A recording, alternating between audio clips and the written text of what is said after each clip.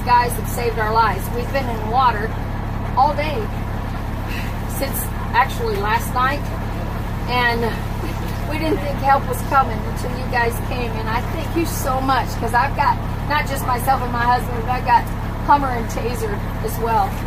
So you guys saved our lives, and thank you so much.